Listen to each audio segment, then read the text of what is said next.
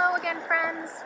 We just learned that rocks are made of minerals and that there are three different rock groups. But does water affect rocks?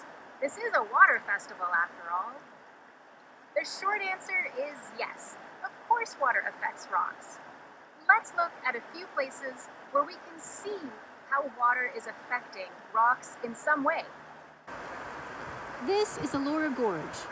Water and ice carved out this channel long ago and continues to do so today. If you've never been to Elora Gorge, I highly recommend you come and visit with your family. It's a great place to explore. This is the Grand River. Along the edge of the river, you can see and pick up rocks that have been carried down from upstream. You'll also notice that these river rocks have been smoothed by the water flowing over them for generations. And this is a sandy beach, a gathering place for all of the tiny bits of rock. The rocks in all of these spots were shaped, moved, or brought together by water. That's right, water has power. Water has the power to break rocks apart. When rocks break apart, we call that weathering. Weathering is different from the weather outside. Weathering is when rocks break into smaller pieces. A good example of this is when water gets into cracks in rock and breaks them apart when water freezes in the wintertime. Just like you can see here in these large and small cracks in the rock face.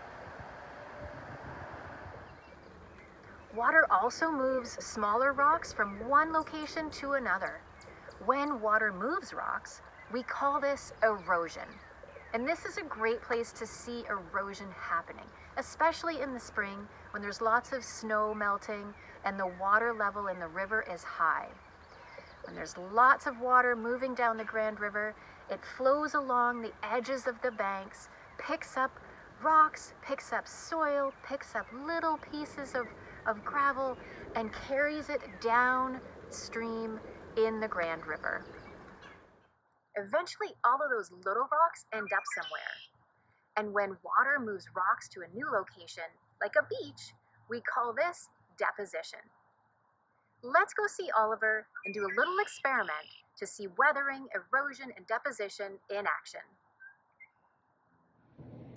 Let's do a quick experiment to see weathering, erosion, and deposition in action. For this experiment, I'm using a cookie tray, some damp sand and gravel, this plastic container, but you can also use something like a thick book.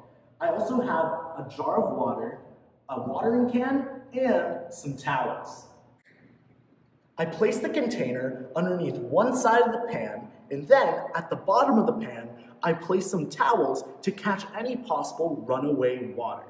Then I built up some land here at the top of the tray with the sand and gravel. Then I created this river through the land from top to bottom. The next step is to then grab your watering can and then just pour a little bit of water at the top of the land. Watch how the water flows down the land following the riverbed.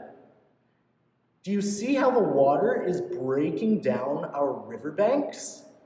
Remember, this is an example of weathering because weathering breaks down rocks.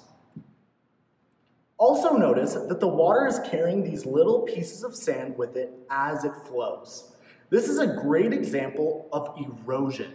Remember, erosion moves the rocks. You may also notice that at the start of our experiment, there was no water or sand at the bottom of our tray here. What do you see at the bottom of our tray now?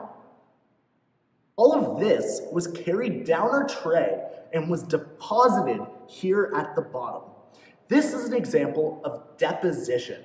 So let's repeat those processes. Weathering breaks down the rocks, erosion moves the rocks, and then deposition drops the rocks in a new place. Thanks, Oliver, that was great. So the next time you're out in nature looking at some rocks, think about how water might have affected them. Did weathering break them? Did erosion move them? Or did deposition cause them to come together? I hope you can go out and have some fun.